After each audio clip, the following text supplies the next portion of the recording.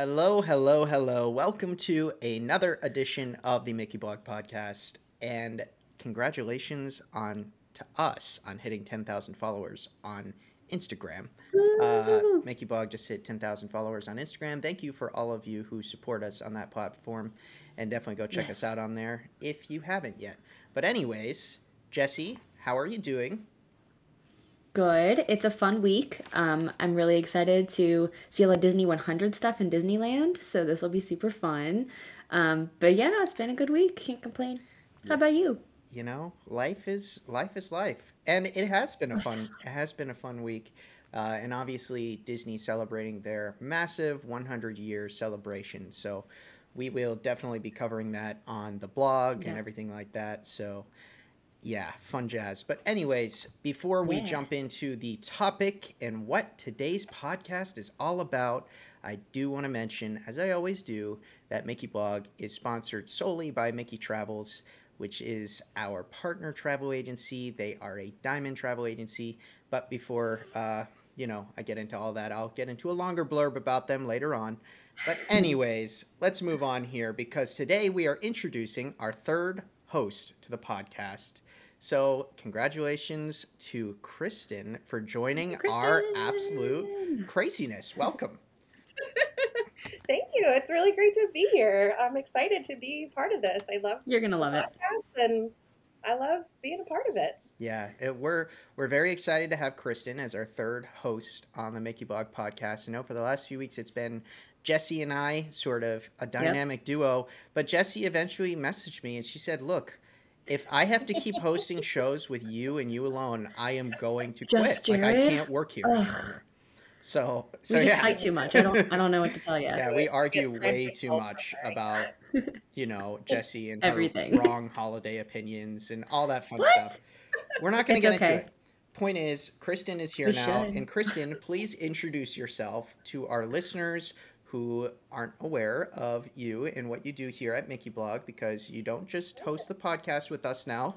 You have quite a few roles. So let everybody Yes, know who you are. Other fun stuff. So, yep, I'm Kristen. I have been coming to Disney parks since 1984. Um, so, the Disney River runs really deep. And I moved down to Orlando about two years ago. And I've been in the Disney blogosphere for since I've been down here about two years. And I started with Mickey Blog late last year. And since then, oh boy, I do do a lot. Um, so I'm another one of the social media managers at Mickey Blog, and then I also report. So I'm in the parks several days a week. hmm I love reporting. I get asked a lot, as I'm sure you guys do. You know, does it take the magic away? Do you get tired of it? And the answer is just no. No, I love it, and I could go in every day and just be happy. It just it didn't. The magic is not ruined. I love it, and I will always love it. And it's the perfect job for someone who's been coming to Disney parks since 1984 Yeah. um, so I love it, and I love the team that we work with at Mickey Blog, and um, I just love being part of people's trips in some small way, right? Like the information we're giving them, they're using that for their trips, or they're using that to decide how to spend their money on their trips, and I I love that aspect of what we do. So Me too. uh, it's yeah, it's it's so fun, and I can't think of a better a better job, honestly. So yeah. Yeah, that's awesome. I think, you know, for a lot of our listeners who listen to the podcast, obviously they come here to listen about the latest in Disney news, or you want to hear some of our ridiculous opinions, uh, or you just, you know, you really feel like that Jared guy, he's entertaining. I don't know why you're here. But I will say that, you know, for a lot of our listeners who might not know what Jesse, Kristen, and I's like usual day to day job, outside of helping with the social media channels, we go to the parks three to five days a week. And, you know, Jesse and I have talked about that a few times on the podcast, but covering Yeah. these parks full time, it, it is interesting because I've gotten that question before too, Chris, and I've I've been asked like, hey, do you not enjoy Disney now? Like, are you Right. still able to go separately and still have fun? And whenever I have family in town or friends in town, I can absolutely still go to Epcot and have an amazing Yeah. time. I went to Animal Kingdom this past weekend with friends in town and, and had a wonderful time. It was their baby's first trip to Disney, so of course we're Aw. she he was wearing a he was wearing a little Mike Wazowski onesie, and we were just taking photos of him just oh everywhere. And I was like, I. That sounds so cute. so I like Yeah. I was still having a blast, you know. Like it, it just if you love this stuff, if you love Disney, I mean, you can't think of a better job for us to do. Yeah. So, so Kristen, you got to tell our listeners though, you have a super fun fact, and I want them to know about it. So I used to live in Los Angeles, and I worked uh, for ABC TV on a little show called Extreme Makeover Home Edition back many, many, many years ago. And as part of that, yeah, no, the time this doesn't. No. But part of that was that I got to meet uh, some celebrities, but um, my ultimate celebrity goal was met at my time at Extreme Makeover Home Edition because I met the Muppets. I got to film with the real life Muppets. I've met Kermit the Frog. I have my picture with all the Muppets. I have a solo picture with me and Fozzie Bear. Um, Jared and Jesse can attest to it. I probably send it like in our group chats way too often as like a humble brag. Whenever anybody talks about anything cool in their lives, I'm like, yeah, well, I'm at the Muppets, so that winner, I win. Tops it Um, all. it tops it all. Um, so yeah, so I've done really great things in my life. I, you know, I have a beautiful family, and you know, I have a great job. But yeah, the crowning achievement thus far that I like to talk about the most is that I've I've met the Muppets, and I got to hang out with them. Like I have like hangout stories with the Muppets, and that's, That's amazing. really- Yeah, It's amazing. Kristen has I love super that. cool. Kristen has two kids, and she still is like, yeah, but I met the Muppets. But no, Right. I will say this. Greatest accomplishment. I will, I will say this to our listeners too. Kristen being a part of this podcast is exciting because she is a mother, and having that sort of opinion is valuable to a lot of our listeners. Because let's face it, many of Disney fans and people who travel to the Disney parks are part of families. They have Our kids, families. and you know, eh, I mean, there's not a lot of people out there like the Jessies and I's who just go as adults by themselves. You know, there are. I'm not saying they don't exist there are. but there's also a large group of people who go as families, whether as adults, Absolutely. whether as parents or you know as kids or whatever. So, so I just I love having that added perspective. Um, and then other than that, all I would say is I could literally meet the president of the United States tomorrow, and Kristen would be like, "That's great, I met Kermit." So who cares? I met the Muppets. yeah, I just I don't know. I kind of feel like the Muppets that that wins. It's- that really They're like most- way up there. Yeah, it really just trumps most celebrity encounters. Yeah. you know, and I will die on that hill. Honestly, I will. I totally agree. Um, totally i hear you um let's move on. Uh so i'm just kidding. The the only reason i say this guys is if if we start letting kristen talk about the muppets and her encounter then we're just we're never going to get through this episode. So She does have really to- love the we- Muppets. she brings it up once a week and we get it and we love her for it but we're moving on. Uh anyways another fun fact of kristen before we jump into our main topic of today is that you own how many pairs of disney ears? I kind of thought you were going to bring that up. Okay, so Wow, you called her out. yeah. Welcome to the show. attacked right Rude. Okay. So I own somewhere around 250 pairs of ears. I lost count around like 215, 220, and there's been a lot of additions since then. So I'm just kind of estimating. Um, Yeah. Yeah. And then that's why this job is also perfect for me because you got like I might not be in the park with the ears that just came out today, but one of you is. yeah, I And got so I got a pair for you literally in my bag. Just haven't seen it yet. I currently have a pair sitting next to me. Yeah, so that gives you guys, Yeah. our listeners, a general idea on where we stand with Kristen's ear addiction. It's uh, Yeah. it's an ongoing issue, but we're here for her and Can't we're believe here to support her her. out. Look, Yeah. I'm trying No, to- it's fine. I own it. I mean, listen, look, in this line of work, fact. Yeah, It it's is a a fun fun fact. fact. Not yeah, people, you know, they're like, "Oh yeah, I have like 12 pairs of ears." And I'm like, "You're so cute." You know, because I remember when I also had 12 pairs of ears.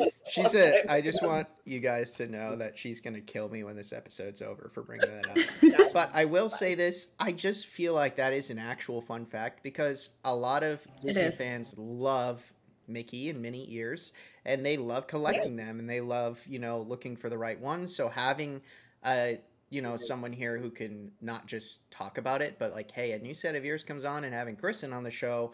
We can describe them in detail, literally in live time, or show you in live time, because odds are Kristen's going to have them. So, yeah, fun stuff. Uh, I'm going to stop Very embarrassing our new host now. Uh, moving on, the main topic of this episode, now that you have gotten to know Kristen, and you'll be getting to know Kristen on many, many, many more episodes to come because we drop new episodes every Friday. Uh, we just want to dive into our topic for today. We wanted to sort of introduce Kristen, but also jump into a fun topic, an open ended discussion that I think a lot of our listeners are going to be interested in and want to hear about. And that is a full ranking of the Disney parks. So that is the domestic theme parks. That is does not include the uh, international theme parks. Doesn't include, you know, uh, trust me. If anybody wants to go to uh, Disneyland Paris and Tokyo Disney Sea and all these amazing places, it's us. But we haven't been there. But the fun fact is, all three of us have been to all six of the domestic Disney theme parks, and we're going to rank them in order from our opinion, not saying it is worst to best, but our opinion worst to best. And we're probably going to debate a little bit, and then Kristen and Jesse are going to fight each other, and we're going to end the episode. It's going to be great. So let's dive in. It'd be great.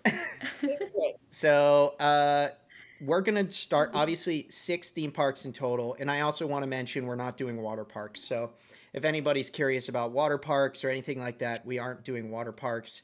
And obviously, we love Disney Springs, but it's not a park. So it can be if you really just like Legos and eating cupcakes, because sometimes I go there for that. But anyways, yeah, me too. anyways, Jesse's starting. We're putting her on the spot. What, in your opinion, is the sixth ranked Disney park out of the four in Walt Disney World and the two in Disneyland?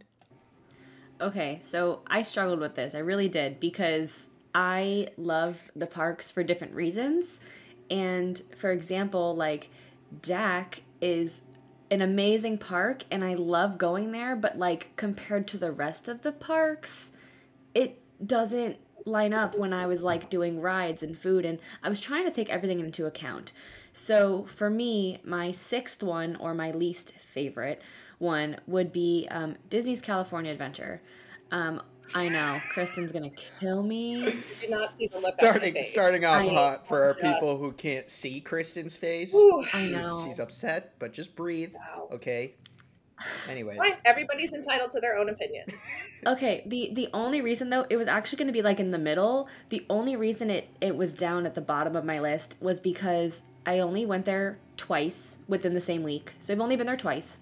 Okay. Um, one of them was for the Halloween party, so it wasn't the same as like the normal daytime. Um, I didn't have like a full attachment to it. To me, I like that that memory, the nostalgia, the full attachment and going into a park. And for me, like when it comes to DCA, I didn't feel that when I walked in. It was very cool. It had its, you know, movie themed. It had different rides. Like I loved the Monsters Inc. ride. I thought that was one of the best rides there. I was like, this is so cool. I'm in Metropolis. What is happening? I was amazed. I thought it was so neat. Um, and then the Kristen help me, but the Cars ride, what's called? Radiator Springs Racers. Yeah. Thank you. That one is Basically Test amazing. Yeah, is amazing. Way better than Test Track, but those were like the two main things I enjoyed. I really I, I enjoyed the views. You know, the Ferris wheel is beautiful. Yeah, the water is pretty. Um, I saw the watercolor show, color Color. World of Color. Thank you. Watercolor. Yep. See, I told you it doesn't have an attachment to me. So I only I was there once. It was fun, but it wasn't like way up there like I'm going to remember this for the rest of my life. Like I'm, you know, yes, like I'll remember it was my first time there, but it it didn't call to me. I was like, um Disneyland is right across. Can we go back there? so, for me comparing those two, it it really fell in the bottom of my list only because a lot of the Florida ones I do have more attachments with. Okay, well, uh, No. and Jesse's off the podcast. We are finding a new third host. Thanks for coming, everybody. Wow, that's rude of you. I'm just kidding. I'm just kidding. too. I'm just kidding. Uh, but no, I I understand where you're coming from. Disagree, but I understand. Kristen, hit me with it. What's the dead last, in your opinion, ranked theme park out of the U.S. parks? All right, unpopular opinion, but mine was Magic Kingdom here in Orlando, Florida. But okay, so my now. criteria- Is it your least? yeah, Like bottom bottom of your list. yes. So here's I have different criteria. First of all, I'm connected to all six parks. Okay, so when I used to live in California, I went to Disneyland and DCA all the time. I remember DCA before they did their multi-million dollar renovation on it. Um, so I got to see that park when it was really in rough shape, and now what it is, which is to me amazing. Um, and I, I love our Magic Kingdom, and I am attached to it. Obviously, I've been coming here for decades, and I bring my kids here, and I love it. And there's a lot of magic here. I just feel like the rides that it has, for the most part, are all better in Disneyland. It's always very crowded. Not always. Mm, like nine times out of ten, it's pretty crowded. And, when and I again, was at D- when I was at DCA for Halloween, it was more crowded than a normal Magic Kingdom day. I guess, but I mean, like magic. I don't know. It's just like it. It has all of those things. It has the magic, and I would. I'm never turning down a chance to go to the Magic Kingdom.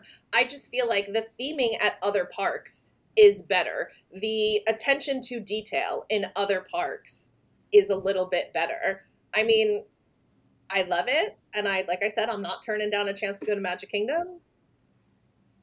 It's just not like the food there too i there's not a lot of great there's some great things but i don't it i don't know it's not it's not my favorite it's not my favorite it's not my favorite and it is But it's your sixth. I think what's important Yes. to remember here, Jesse, what's important to remember here, Jesse, is again, one, as Kristen said earlier, we're all entitled to our own opinions. And two, I understand that. I didn't not- say her opinion was wrong. no, no, no, no. Uh, just hear me out. All I'm saying here is we're not saying, uh, like, when we're doing these rankings for our listeners to clarify, we're not, I, I don't think Kristen is saying, like, she hates Magic Kingdom or Magic Kingdom. No, is I love it. It's just, I just hard. It's hard to rank these. Yeah. It's hard to rank It's these. It's very hard. And i think Very that there's hard. other parks that do what the magic kingdom does a little bit better is what i'm saying like pirates of the caribbean in walt disney world is not as good as disneyland space mountain here is not as good as it is in disneyland disneyland I like Space Mountain here so much better. I don't. Uh, uh, full disclosure: I stopped riding Space Mountain many years ago, so maybe I'm remembering that wrong. But I just feel like the rides out in the sister park to our Magic Kingdom are better, and their food options are better, and it's themed better. So I feel like when you're comparing, and then when I start thinking about the part, then okay, so that's there. When I start thinking about here, it's kind of like I don't know. But Yeah. again, I love it. Like I'm certainly not going to be like I'm never going to Magic Kingdom. And if I get hate mail, fine. But I just I feel like other parks do what the Magic Kingdom does a little bit better. Yeah, so now that Kristen said all that, I agree. Magic Kingdom is my sixth ranked theme park. Uh, out Wow, of you guys. you of- guys can both go home. I'll run the podcast by myself. It's fine. look, okay, I I'm the same, a lot of the same that Kristen was talking about. Like I love a lot that the Magic Kingdom does, but after visiting Disneyland, I just personally think it's a worse version of Disneyland Park and the way the layout is is far more spread out which feels Mhm. not as authentic and it doesn't feel as you know filled with love Charming. and care and charming as magic kingdom or sorry as disneyland park does i think the railroad is better out there i think having the pirate ship is better out there i think obviously the rides like i think there's certain stuff that i like in magic kingdom more like the monorail in magic kingdom i We like have a more. people mover. They don't. Yeah, we you have know? a people Yeah. mover. They don't out there. Uh, obviously, I'm a little biased because I was in Tomorrowland when Hyperspace Mountain was going on. So when I was in Disneyland, I got to ride Hyperspace Mountain. For those of you who don't know what that is, it's where they basically sort of wrap the ride in a Star Wars theme for a while. And I'm a massive Star Wars fan, so obviously I found that amazing. Like, you know, so yeah. So it's not that I dislike the Magic Kingdom in any way. I just found Disneyland far better. And when I think about the rest of these parks, when I'm thinking about what I love and, and don't love or like or dislike, I like the other elements of these other parks more than I like the elements of the Magic Kingdom. That's probably the best way yeah. I can sum it up. So we just can't be friends anymore. I have the Magic Kingdom castle tattooed on my leg. So and I love your tattoo, and I love the Magic Kingdom. But like Jared, I agree. I agree with Jared. Yeah. I just think that the elements of the Magic Kingdom are done better elsewhere. Yeah, it's it is what it is, Jesse. We still love you. Anyways, uh, moving on. I don't, I don't know how I feel about you anymore. So let's let's move on to number five. Jesse, who you got as your number five ranked park? Uh, I gotta pull up my list. Parks? Okay, my number five is DAK. I say it's DAK. It's Disney's Animal Kingdom. Only because I know, I'm sorry. I love going there. I love reporting there.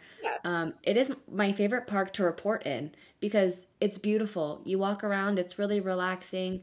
Um, but for me, like I'm I love their shows also, but I'm a parade person. I want to see a castle or a, a big element. And where like with Animal Kingdom, you have the tree and it's beautiful and I love nature, but it's not a park that I'm like, "Oh, Everest is based off of Mickey Mouse" because it's it's not. It's a Yeti, which is amazing. Betty the Yeti is fantastic, but it's it doesn't scream as Disney to me.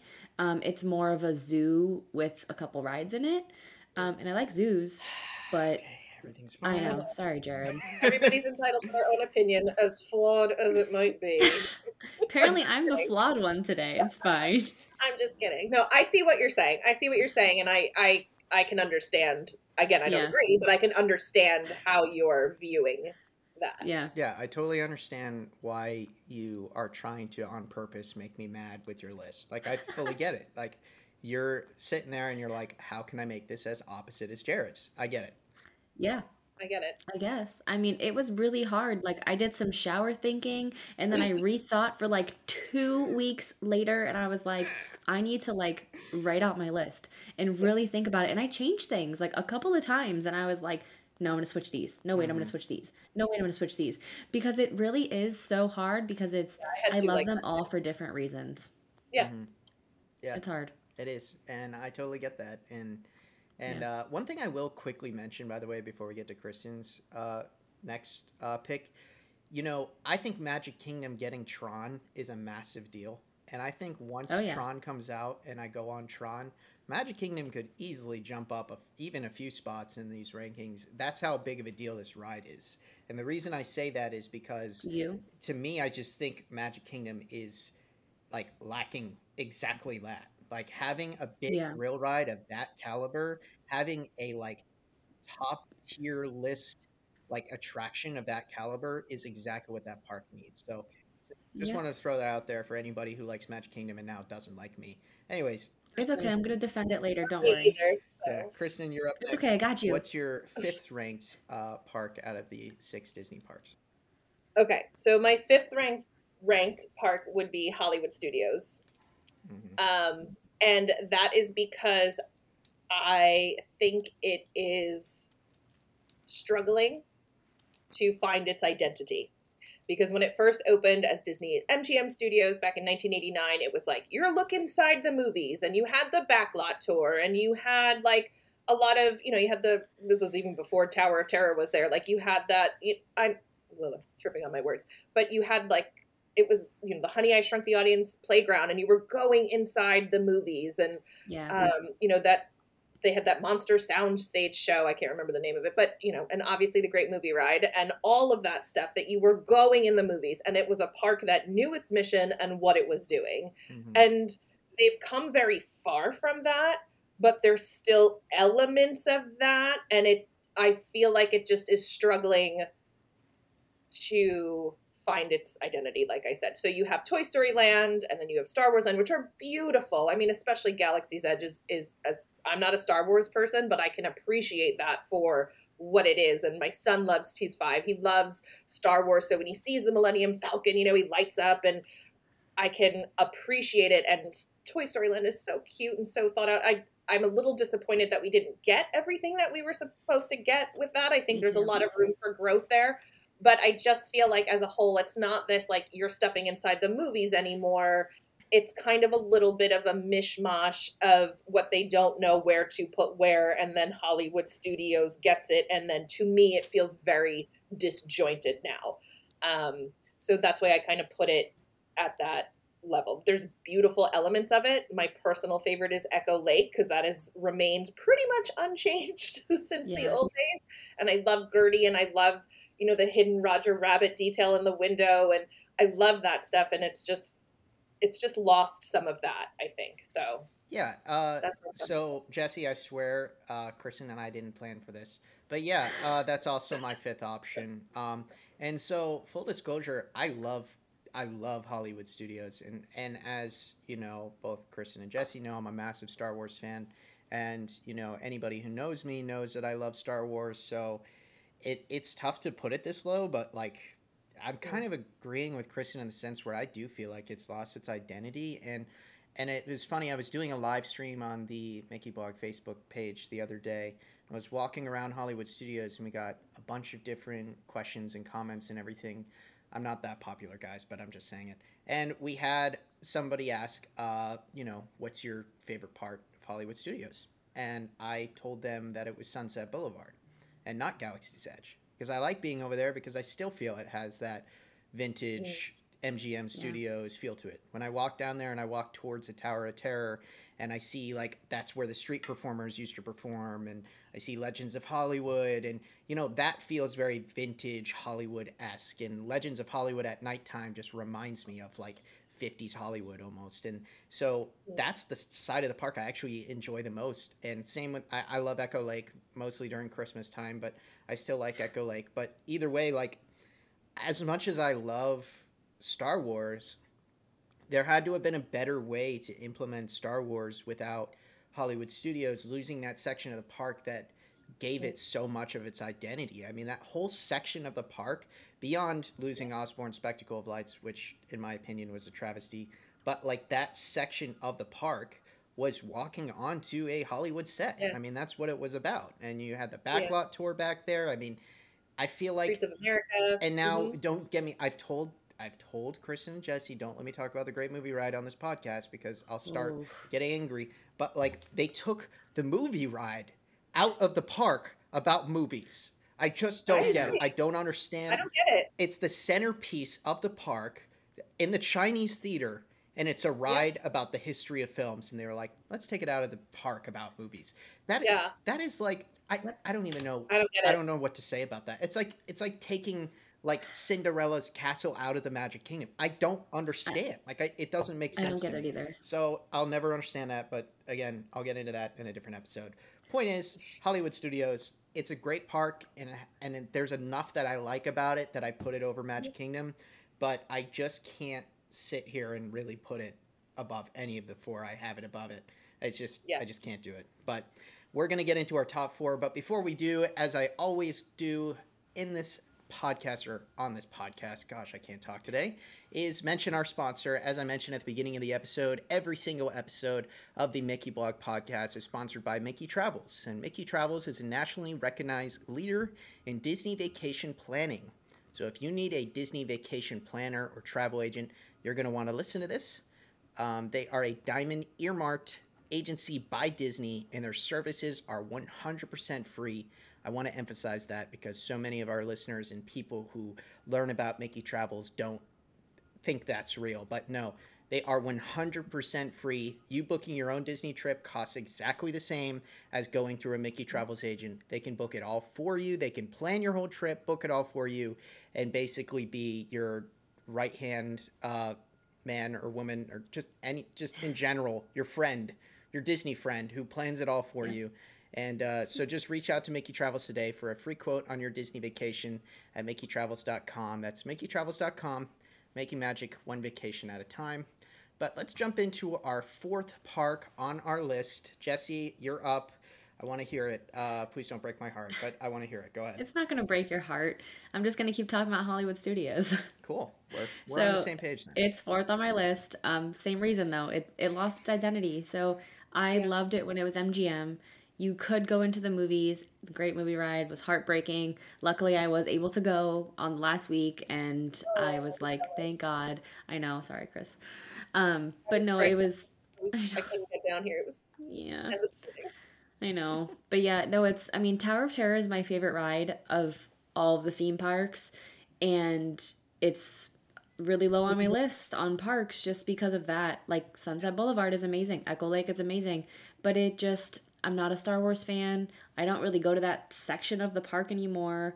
I love Toy Story, but I think they could have made it bigger. It's very small. You walk through it and then you're like, oh, There's also you're zero shade. You're just hot. yeah, Yeah. so hot. Yeah. So hot. I think there's like- a lot of missed opportunities in Toy Story Land. Yeah, you know? and then a to get to the gift shop, you have to like walk through the line queue to like find Toy Story things. Like it, Yeah, they don't I sell love Toy it. Story I- toys in Toy Story Land that much. Like like you said, you have to go through the queue to see it. you you have to like, and if you don't know that, like so you're, like, wouldn't even know it was there. Yeah. It's Yeah, like you have to like Oh. walk through the back of the queue to like find a decent store. Yeah. So just, I mean, I'm really excited excited for the new barbecue restaurant. That'll be really cool. Um, the food looks amazing, but I mean, Mhm. it's you know, it is one of my favorite places to eat. They do have a lot of options, um, but it just didn't. I couldn't compare it to anything else on my list. Yeah, I hear that. And honestly, another thing too that I wanted to to mention. I'm sorry, I keep stealing Kristen's time. Uh, I just I just wanted to mention that I think Hollywood Studios could have been higher up the rankings for me too had they done Toy Story Land and Star Wars Land better. And a lot of people love Yeah. Galaxy's Edge, and I'm not going to sit here and say Galaxy's Edge is poorly done.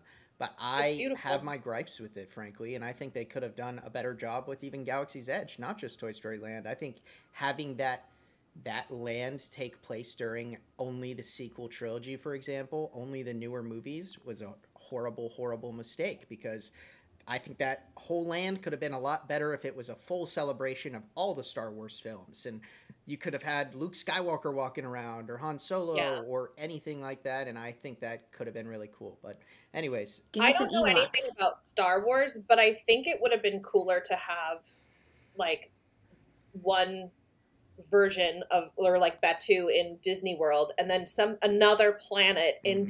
Disneyland and then the two like just I like when I went to the one in Disneyland I was like wow this is literally like it's it's weird, isn't it? Copy it's like paste. it's like you just teleport into Hollywood studios. yeah I just felt like I was home and I was like okay I don't mm, what am I and now like a lot of the food options are the same like the originally there was a little bit of difference and now it's pretty much a carbon copy so I think uh, again another missed opportunity to Mm. have like a really unique experience in each so Yeah. I hear you Yeah, but I walked when I walked into the Disneyland one, I was like, oh, a water fountain. Oh, a bathroom. Oh my god, I know where I can pee here know where I am. because it was the same Mhm. thing. It was so weird. I was like, am I where? Yeah. Where am I? Which is Yeah. It's like unlike, deja vu. which is so unlike Disneyland because uh, almost Yeah. everything else is totally different. So, Yeah. but yeah, It- what's it was weird. What It is was your a uh, fourth? economical choice Yeah. Um, okay, so my fourth is Animal Kingdom.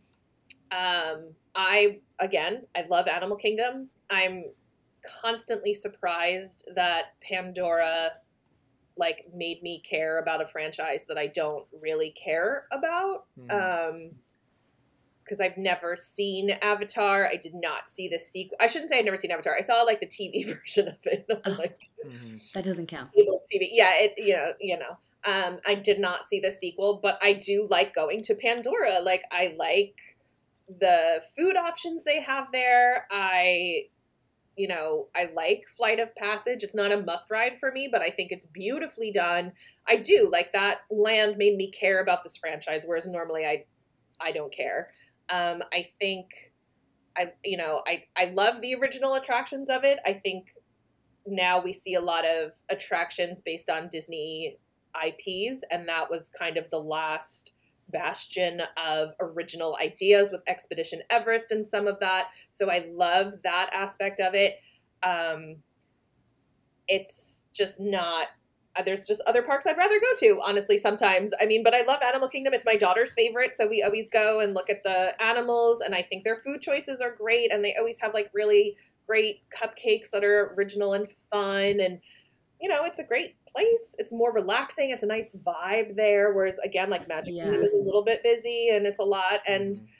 you know, but again, the rides there are, yeah, the shows Right. are, yeah, I mean, I could hang out in Dinosaur all day. yeah. Like, Dino Land is fabulous, but it's You know. cute. Yeah, you know, but again, like Dinosaur, its counterpart Indiana Jones on the West Coast is so much better. So every time I ride that, I'm kind of like, no, I know you're you're disagreeing with me, but I mean, no.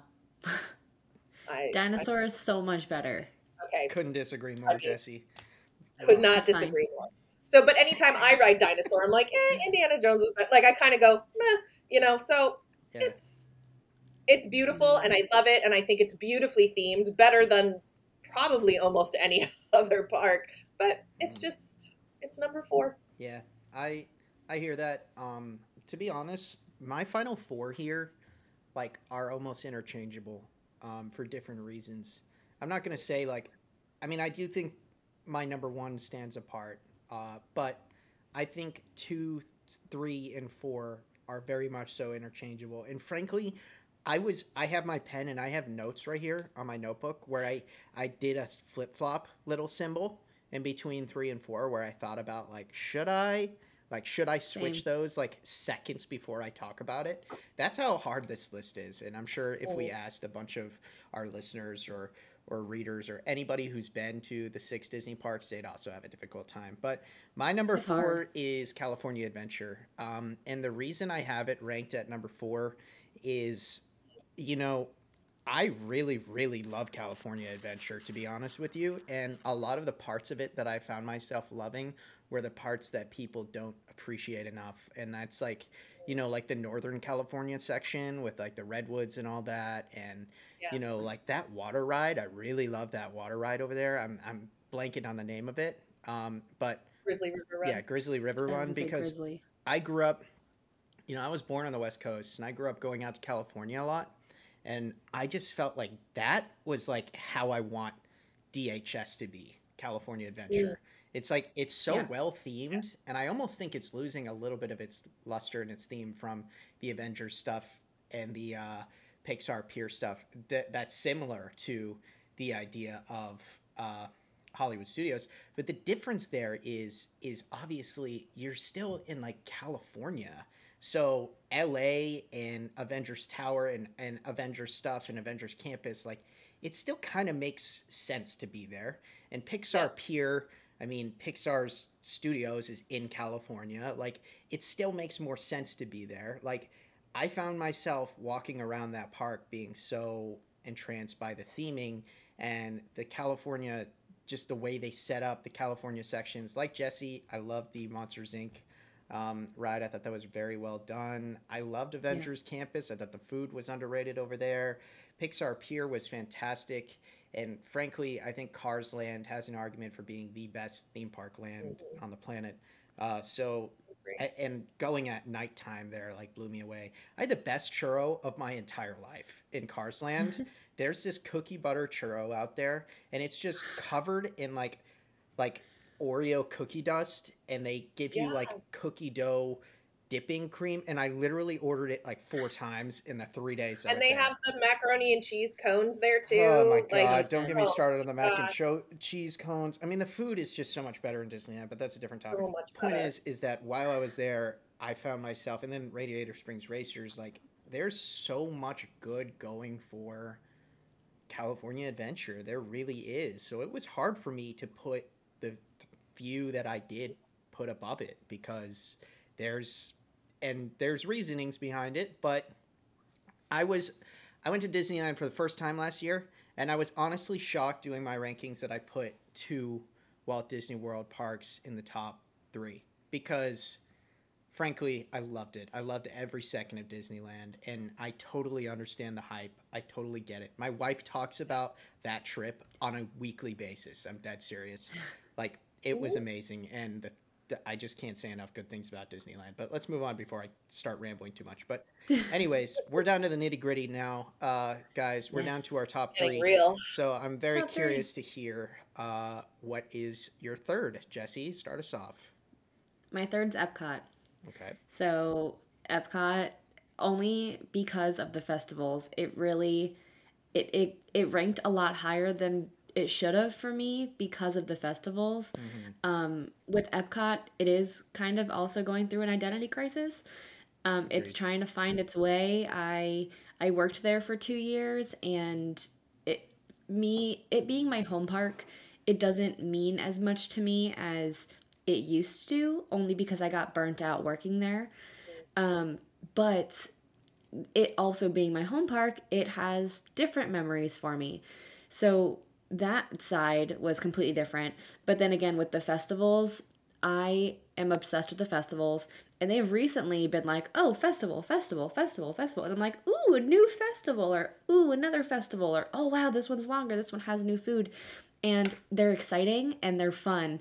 So, really, that's what won Epcot over for me. Country wise, drinking around the world, like for me, that's not really my thing. I don't drink around the world. The countries are cool, but I'll be like, yay, I'll see you in Italy. And they'll be like, Italy? I'm like, yeah, and I've got Like, okay. like, I don't really, really care about the countries. It's not really my thing. Um, I love Figment, but he needs more. I, what, what, Jared? What was that, I Jared? just What? I'm just letting out a sigh about not caring about the countries or drinking around the world because that's like a part of my identity. Oh, okay, because I thought you were Is- disparaging Is Figment. that, is that what it was? Yeah, that, that's what the sigh was. I, I continue. Mm, sorry. Okay. Sorry for the interruption. Okay. Wow, just checking. So yeah, Figment, you know, needs more in the Yes, park. I Um, he's getting more, which is fantastic. Um, I love that they made the whole new festival about him, and it's amazing. And I will buy all of the merchandise with his face on it. Fi- That's fine. Figment That's kind of sucks, guys. Figment kind of sucks. There, I said it. Jared, do not come for Figment, okay? I didn't see. No, That is her favorite character. I didn't see the original Figment, Kristen. I don't know what That's that's your like. problem. So the only Go only watch a ride through. all I have. I'm gonna need you to YouTube the original ride and then get back to me. The only thing I have to base it off of is the current ride, Epcot which baby. isn't that good. Let's just say it how it is. The current No, the ride is not good. I agree with you. I agree like with you. it. The ride is not good, So but I mean, ride it. compared to the compared to the old one. I don't even want to ride it but like I I like it. I just don't It's enjoy it. The only reason I go over there is to see Pooh Bear catching butterflies. It's the only reason I go to that side of the park. yes, Anyways, Kristen, sorry, I, mean- I just fired up Kristen so bad with that he's comment. very very cute catching butterflies, but you know, I need to like Big take a minute. Coming back.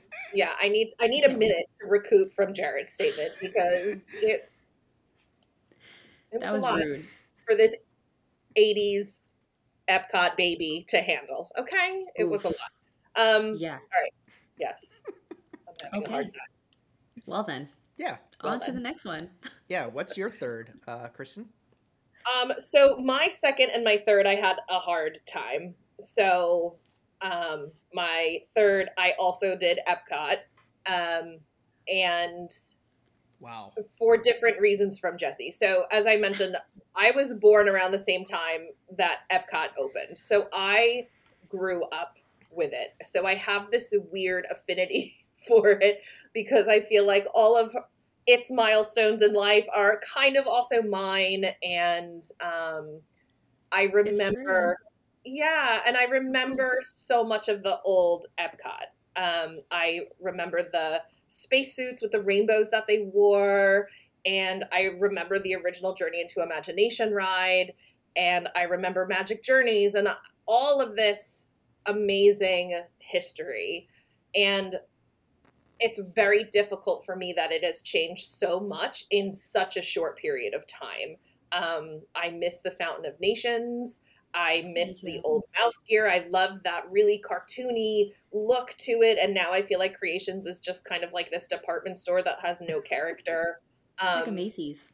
as bad as the food at Electric Umbrella was, it was so kitschy and obnoxious, and it I just miss it. And now Connections is, I don't know, it's just like a Starbucks. It's like a cafeteria. Am I in a commissary? Am I in an office building? Like, where am I?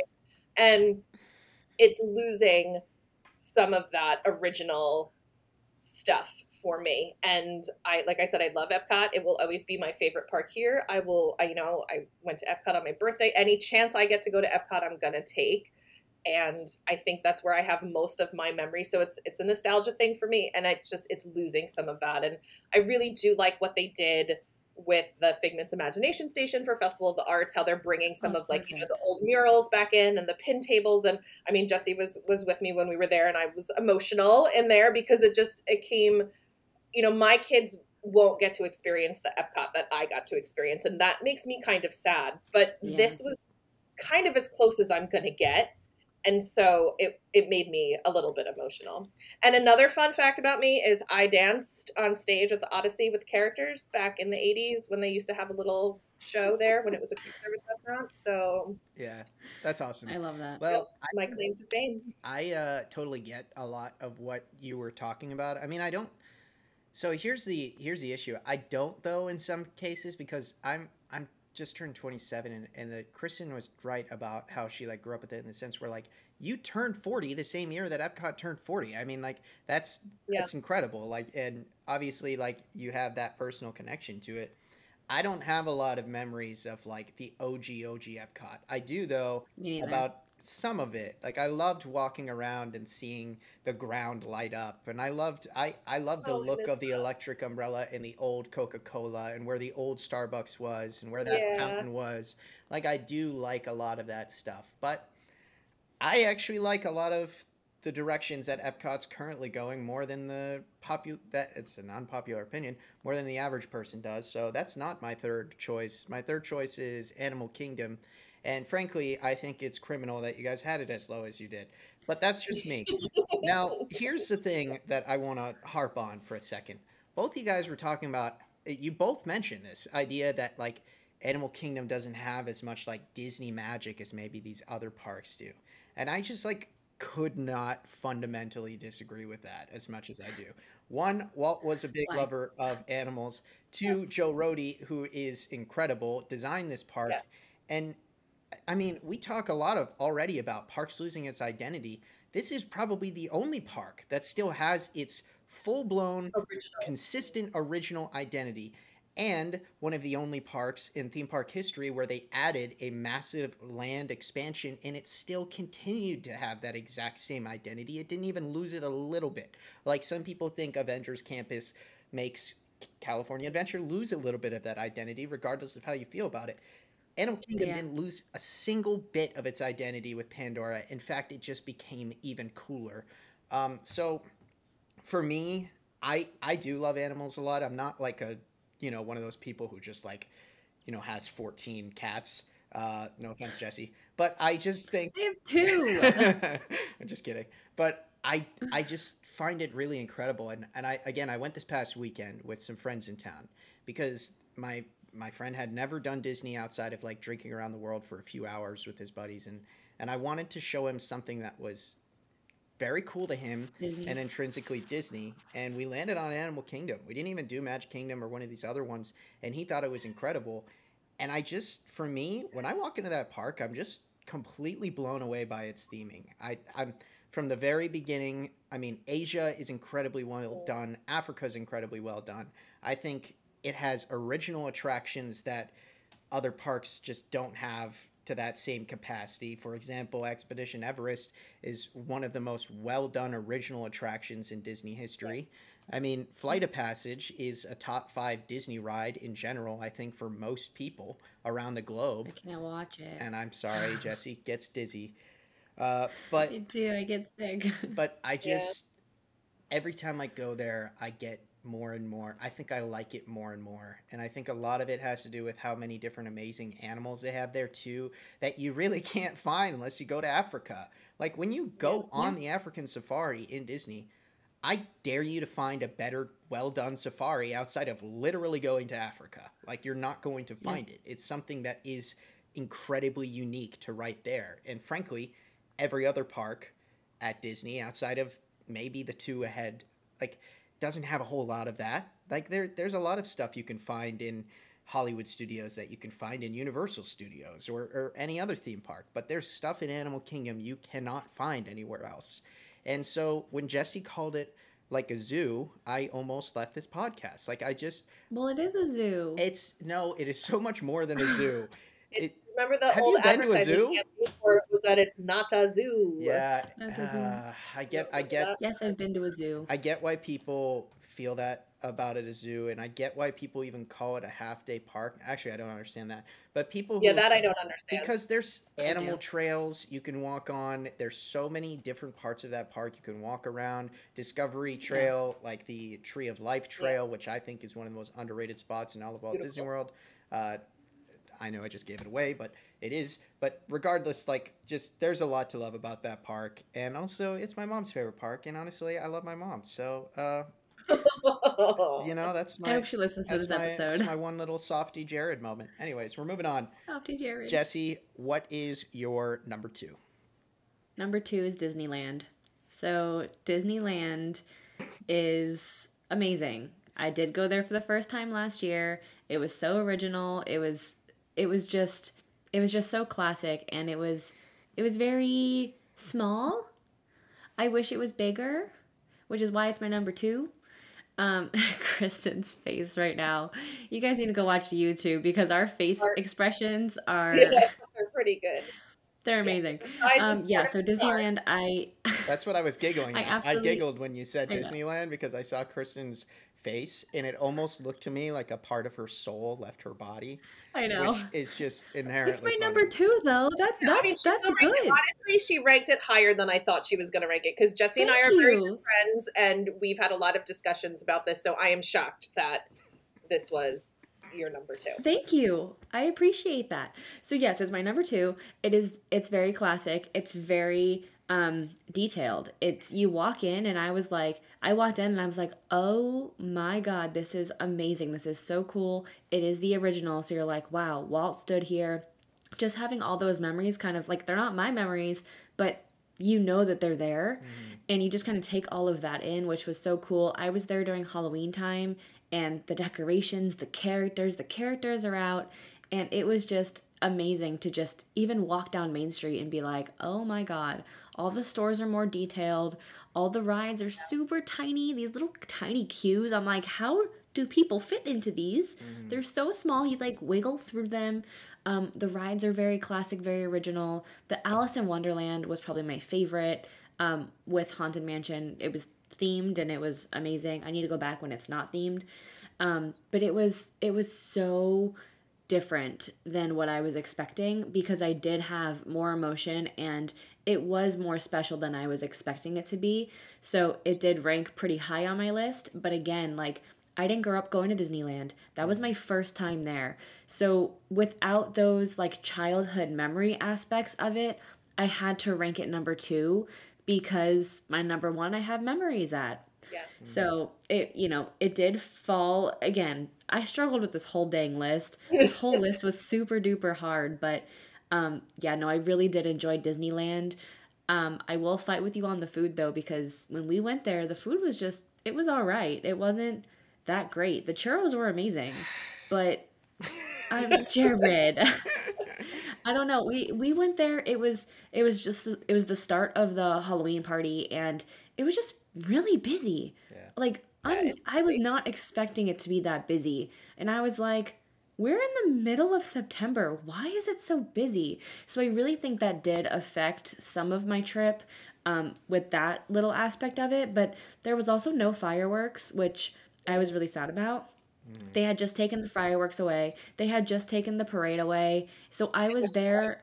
which is I freaking missed the parade by a week. And I was so upset because I really wanted to see the electrical parade on Main Street in Disneyland. And I didn't get to see it. So I was already angry about that. Mm-hmm.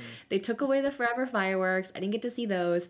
I was super excited and super happy about the Halloween fireworks though, because they only do them on weekends, which I was like, what? Only weekends? Yeah. What what does that mean? Mm-hmm. So I wasn't planning on going on a weekend. I don't go to Disney World on a weekend. Why am I going to go to Disneyland on a weekend? That people no, that does that doesn't sound fun. Mm. So a cast member was like, "Hey, we actually do have fireworks on Saturday night." And I was like, "Oh, so I need to buy another ticket to come back on a Saturday. Good to know." So I did end up having to go having to go again. I was.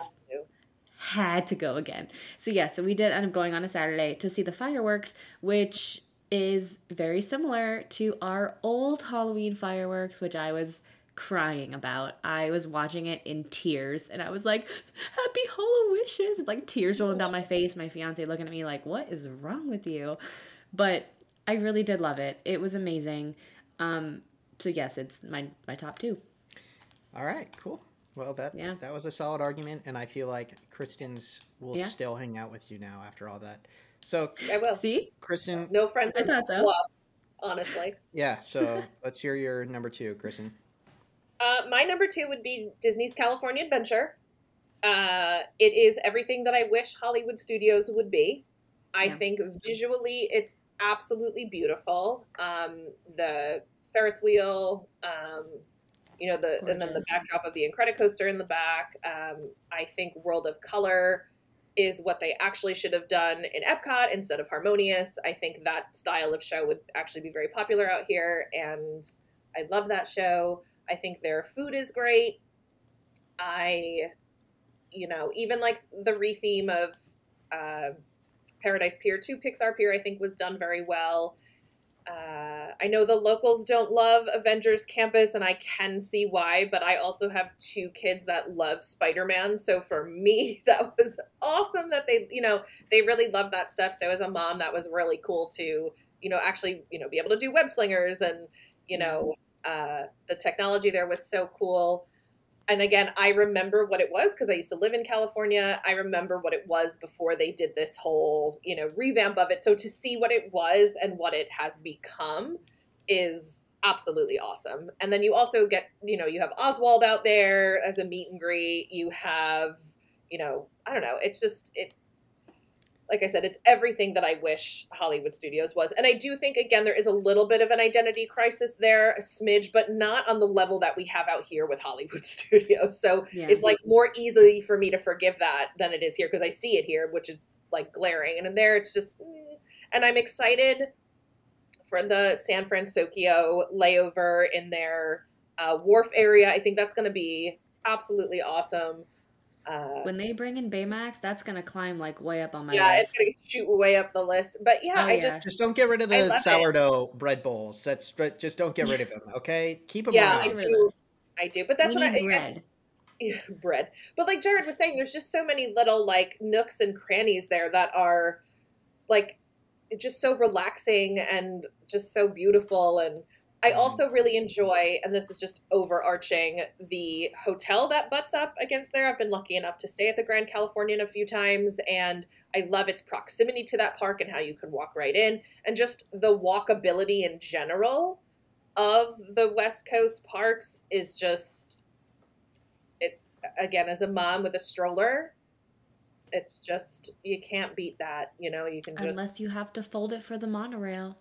Yeah, this is true we Yeah. were talking about this the other you know we saw footage of the 100 year monorail wrap before and I love the Disneyland monorail, but you have to fold up your stroller in the Disneyland Yeah. monorail. And again, as a mom of two kids and an eight year old that still wants to be in the stroller, it's it's a tough sell to tell me I got to fold up my monorail. it my. Yep.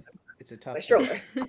Yeah, I uh, I totally get it. In fact, a lot of what Kristen was just talking about with California Adventure has me already rethinking my list. Just just Oh, me just too. because like I almost forgot about like the whole San Francisco section, and I know they're retheming it to you know Big Hero Six, but like I love that section of the park. I mean, I grew up going to San Francisco, and so you know, eating a real sourdough bread bowl was amazing, and seeing Mickey loaves of bread shaped, you know, in sourdough, like Yes, that was amazing, and you know, uh, but beyond that, like the little bridge right there, there's so many little ducks that swim around in that area.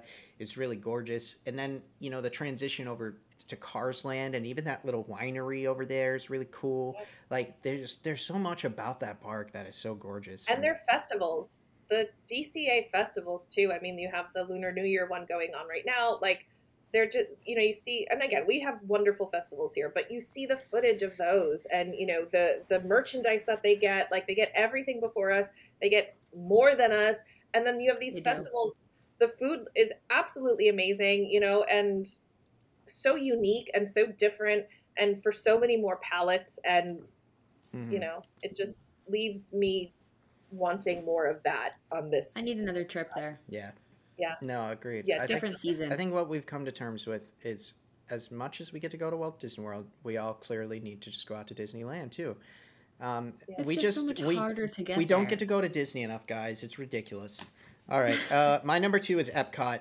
Um, I totally understand why people feel that Epcot, uh, you know, used to be better and everything like that. But first of all, Guardians of the Galaxy Cosmic Rewind is one of the coolest attractions on the planet, in my opinion.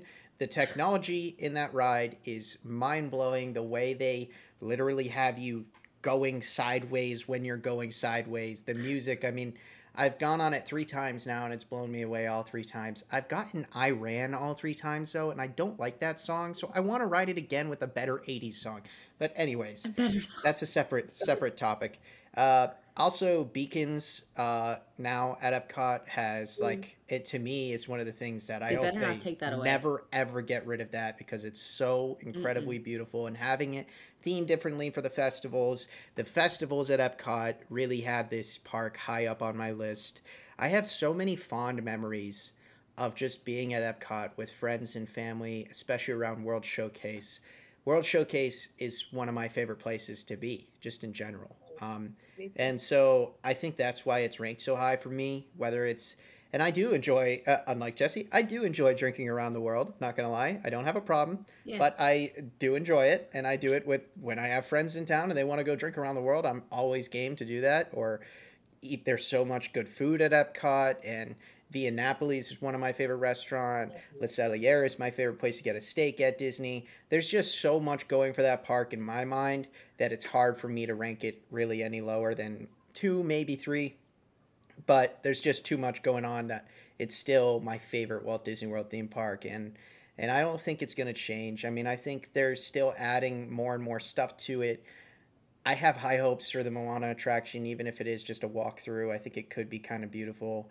I do think I hope. I hope mean, it'll be pretty. I hope they they have a good centerpiece of that park. I know Kristen is like, uh, I want the old fountain. I just I just yeah. want to throw coins in the old Epcot fountain. Wow. Yeah, that was Wow. that was there was a little toot there. I'm sorry, but I just think that look. Here's the thing. Okay, let me just say this. I think with all of us, whether it's what I was saying earlier about Hollywood Studios, and and Kristen was saying this too when it comes to MGM, or whether it's now Epcot, which Kristen can relate to farther far more than Jessie and I can because we don't remember a lot of the older Epcot, but like. Yeah. I think we all have to sometimes take our nostalgia glasses off and try to remember that just because something is different and new doesn't mean it's inherently worse. Sometimes it is, sometimes it's not, okay? Let's tell it how it is. Electric Umbrella, it's cool to go there. Doesn't mean the food was very good, okay? And it Yeah, and definitely it smelled pretty bad. and it smelled pretty bad and that carpet was radical and things were a little things were a little interesting over there I, I remember walking through electric umbrella like the last few times i did when i was like early teens being like what is this place still doing here and so like come on like let's just let's just I, i'm just asking collectively all three of us to sometimes because we're going to be hosting many many many more episodes to sometimes we do and i try to remind myself of this we need to sometimes take those nostalgia glasses off and and think about hard. maybe some some things even if we don't like change are better for this current generation are better for future generations and and you know that's just that's a separate rant but yeah i i still think epcot for me is my Yeah. top walt disney world park i i still walk in there i love the new fountain up at the front i still walk in there and i still love it i love the music Yeah. i love world showcase and frankly the last thing i'm going to say about this is more people need to spend time walking around the countries. And I don't mean drinking around the world or eating around the world. I mean, walk into each country and look at the detail and look at the care Yeah. and the love they put Yeah. into each country. For example, Morocco is really gorgeous if you walk to the very back of Morocco and you're wandering around and you're like, this place is kind of cool. Or France, I adore France and I love the Remy edition. So just that's that's just my two cents. But anyways, everyone's top I park. think it was not to cut you off, Jared, but I think it was. This is what I tell myself. I think it was Marty Sklar that said, like, it's not a museum. It's gonna change. And I always try to tell myself that when I get like worked up over some of the Mhm. changes, like it's not a Yeah. museum. It's gonna change and it has to stay relevant. It's just like that's like my mantra when when they had D23 when they start rolling out the changes I'm like it's not a museum it's not a museum but it's it's hard you know to see some of the things that you loved doing as a child and right Disney sells us that idea right Yeah. like this Mm. you're making memories you're doing this so then you go and you want to do these things with your kids or with you know your husband or your wife and then it's like oh yeah no that's gone Well, I'm That's a different. am a huge sports fan, Kristen. So like I grew up in Massachusetts. So to us, Fenway Park is like a church. It's like if for Bostonians, for people who grew up up there, it is like a museum. It's that's what it is to us. So I yeah Yeah. I still have so much nostalgia and love for that place. But what's so cool about it is my parents' generation does and their generation does because it's the oldest ballpark in the United States. And most of it is still standing pretty much identical to how it was over a hundred years now. So I- I feel Wild. bad for like, even though I don't like the Yankees because I'm a Red Sox fan, I feel bad for Yankees fans, for example, because their their ballpark got fully demolished. It created a new Yankees park. So I just think about that stuff sometimes, and, and it really it really uh, just interests me, I guess. But um, anyways, let's get into uh, our last pick because this podcast is longer than our usual podcast. But uh, you know what? I expected this. We also had to introduce uh, you know Kristen to the party, so you know it was it was inherently going to be a little bit longer. But regardless, uh, yeah, I want to jump into our final uh, top pick. Favorite park. So Jessie, All go right. ahead. Top pick, Magic Kingdom, which you all knew was coming. um, yeah, so Magic Kingdom, I grew up with. I am from South Florida, so we drove up three hours and just would go to Magic Kingdom. And I think that's why Epcot didn't rank as high because that wasn't a park that we went to when we were kids. It was more like, you know, Magic Kingdom, Hollywood, well, MGM at the time, and then Animal Kingdom. But, you know, some of them lost a little bit of their magic for me, and Magic just never lost it. For me, I walk in, I see the castle, and I get emotional. I don't know why. It just happens. I, assume that's how you feel about Disneyland, Kristen. You just it's you have that emotional attachment to it. I have memories with my parents. I have memories with my sister, my best friends. Um, I have memories of me moving to Orlando and going there when I was sad because I didn't have friends in Orlando, and I would just like go there and watch the fireworks, and I would like cry, and I, I don't know why, but it just you get so emotional when you have all these attachments to a place, mm-hmm. and even the detail in Magic Kingdom, I still find something new there every time I'm there. I walk in and I'm like, did that window always have that name on it? Was it a different name? Wait, was this Hidden Mickey always here? Like, I always see something new. And when it comes to the lands, like I know Jared, you were saying that the lands are too spread out. Um, you know, it's not as quaint and walkable. But I actually like that they're spread out because I can be like, oh, that pathway is really crowded. I'm gonna go the back way, or I'm gonna go this way first because I know this is less crowded. Um, I actually like the fact that it is a little more spread out than Disneyland because Disneyland, I did feel like I was so enclosed. I was like, I don't I can't go anywhere. Where do I go? But again, I didn't know the park like the back of my hand. Where Magic Kingdom, I know the ins and outs like the back of my hand. I can pretty much get anywhere decently quick in Magic Kingdom, even if, you know, I'm walking 10 miles. Um, so I thoroughly enjoy it. It again, it's my home park. That haunted mansion will always have memories for me. But yes, I prefer the one in Disneyland. Yes, the Pirates in Disneyland is better, but for me, the nostalgia really won for me when it comes to Magic Kingdom. Um, specifically the castle. I mean, the castle has always meant a lot to me. That is my home. Like I walk in and I'm like, oh my god, that's my house. Like I, I just love it. Um, so for me, Magic Kingdom really does rank high. And when someone comes into town, it's like, oh, what park do you want to go to? I'm like Magic Kingdom because they want to see the castle. That's the main park. They want to see it. Yes, character meet and greets are fun. No, they're not like Disneyland where they're out and about. I wish they were. But again, nostalgia just it it beat me. I I couldn't help it. You know, honestly, Yeah. Jessie, just so you know, when we release this episode and we look at comments and we look how people react, I think there's going to be lots of people who are coming to your oh, defense Oh, yeah. about Magic Kingdom. And I think and so too. frankly, after hearing that, I feel bad having it say sixth. You know, and and you know, it, it is what it is. But that's the beauty of this. I mean, I feel bad having DCA as six too, but I mean, you had you had to order them, and it was like it's tricky. It's it's I didn't want to order them in the first place. Like, who assigned me this task? uh Why did you do this to that me? would be me, but I am sorry Thank you. because I, I I'm finding it it was hard. difficult. Yeah. Uh, anyways, uh, Kristen, I didn't like it. go ahead. My number one is Disneyland, the original. It has the charm. I think their character meet and greets are superior. I think the food is superior. I think it's cleaner. I think they have more rides packed into that smaller space. I think they it just has more charm, it has more character. It's the original Walt Disney was there. It still has Mr. Toad's Wild Ride. Um, Uh huh. It does, and I love it. Um, so yeah, I just and again, it's not that I don't love the Magic Kingdom. I mean, I too have been coming here. You know, that was the only park. You know, when I well, no, I think Epcot was open when I started coming here. Yes, it was, but Yeah. like.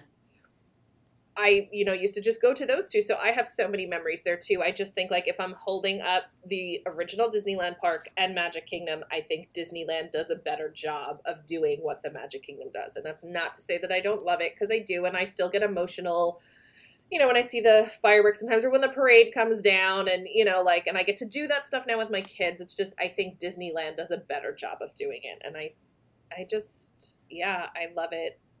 I love, like I said, the walkability of Disneyland. I love how the hotels are on property, like, are so close there. Um, you know, I love the Blue Bayou. I just, like, I love, I love New Orleans Square. I just, I love all that stuff. And it's just, I love it. I love it, man. Yeah, and that's another one for Magic Kingdom too. Is the monorail with the walkability and connecting all the resorts, which Yeah. is always so cool. So they have a lot of similarities, and with Disneyland, like it's really cool, but it's like Magic and Hollywood, like mm-hmm. shoved into one park. So it's hard to be like, oh, this one's better. Well, yeah, but it's diff. It, it's two parks in one, Yeah. you know. So it it was hard. Yeah, I Yeah. I I feel I personally uh, put Disneyland number one as well. And the interesting thing is, I went there on my first trip last year, and you guys were talking about how these are the parks that you guys grew up with. But that's like I I didn't grow up with Disneyland, and it's my favorite. Right. So Yeah. I think it's interesting that I'm coming in with that sort of different mindset. But frankly, you know, and this isn't a bad thing, doing what I do for a living. But one of the things I've noticed about doing what I do for a living and covering the covering the parks nonstop, it's not that I've lost my love for the parks because that's not true, but I have lost a little bit of the old nostalgia for it. Like I have lost. It's hard for me to associate certain parks with certain memories and certain things as I walk around when I've gone here now hundreds of times. It's just a different Yeah. type of, you know, thing. And granted, mm-hmm. Wouldn't trade it for the world. I love what I do. But either way, that's just fascinating to me. But I do have a little bit of nostalgia with Disneyland because I've only been there once. So maybe that's why it went to one. But uh, I mean, I went to it several times in a three day span. But yeah, uh, I went there with my wife. She grew up and loved Disney even more than I did. And, you know, there's photos of her on Main Street at three, four years old, uh, you know, with her little chubby cheeks and her mom like hugging her on Main Street. And, and so she grew up just always wanting to go to Disneyland. And so the two of us getting to go out there together, um, you know, being engaged at the time and hadn't gotten married quite yet, but experiencing it all for the first time together was, I think, extra cool. And I just, I frankly, I loved everything about that park. I walked in and I found myself like being like, this is weird because I am on Main Street still.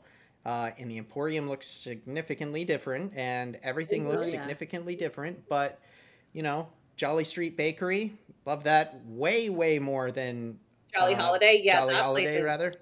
love Jolly. Holiday Bakery, and then I sat there Yeah, and had one of the best cinnamon rolls in my life, and looked at the castle, and I was like, okay, okay, and uh, my uh, wife had one of those raspberry macaroons there that is just like the Mhm. most ridiculous thing I've ever eaten. It's delicious. Amazing. And so I just started walking around and being like, this is so cool. Like it it felt like I was almost in a time machine because everything it had been like described to me as in terms of this quaint little magical separate world, the original vision that Walt had was exactly the way it was. Like I was walking around being like, holy crap, this is smaller and maybe not as well made or or as new as some of the stuff they do at Magic Kingdom.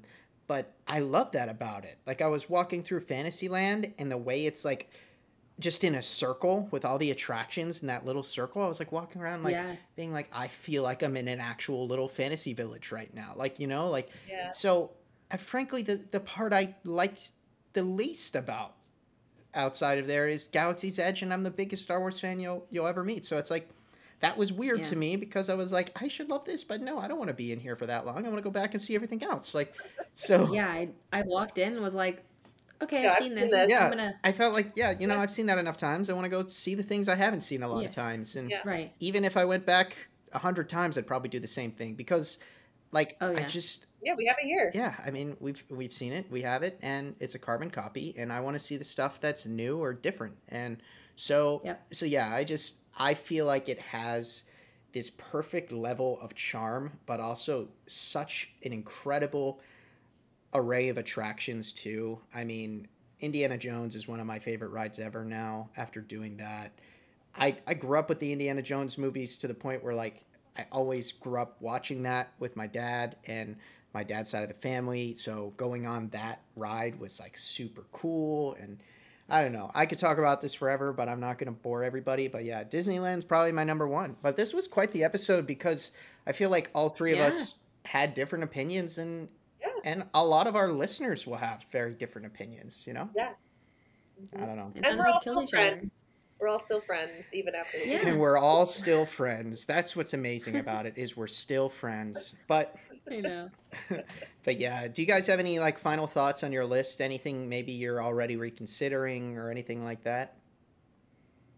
I, I mean, I'm still I DCA. I mean, I because I loved it. So like, I I of course I'm reconsidering it, but like, Yeah, something has to think be on the bottom. Like, you know, I don't I have the heart to Kingdom. put. I know that's the thing. I don't have the heart to put Animal Kingdom and Hollywood Studios at the bottom. that's why it was it was so hard. Well, yeah, no, that's the takeaway is that this is just a very difficult exercise. And I would love to hear the comments though. yeah, I, yeah, Everyone and I love, else's.